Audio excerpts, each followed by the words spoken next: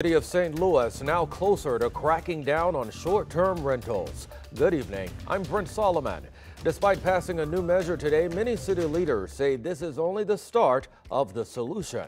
5 on your side's Holden Kurwicki is live downtown with the very latest on the plan. Holden. Well, Brent, there are about a thousand short-term rentals in the city of St. Louis, and they're not going anywhere, at least not anytime soon. However, the city of St. Louis now has the option to police those properties, especially if they continue to be a problem or if their owner fails to get a permit.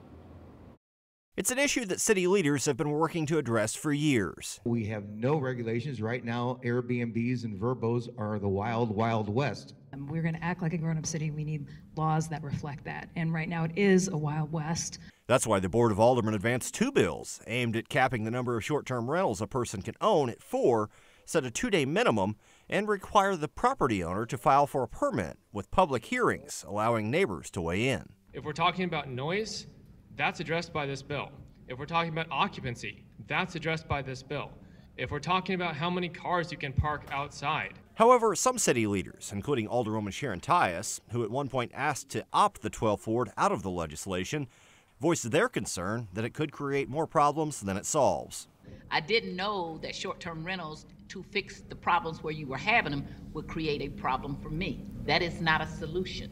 The short term rental um, industry is really great for bringing residents to neighborhoods that don't have hotels. I think I, I, it really is incredible asset to many of our neighborhoods, including mine. And let's put this right next door to your house and see how the hell you feel about it because what's going to happen to you every day when there's 20 guys throwing beer cans over your fence, urinating in the backyard, and having a wild party?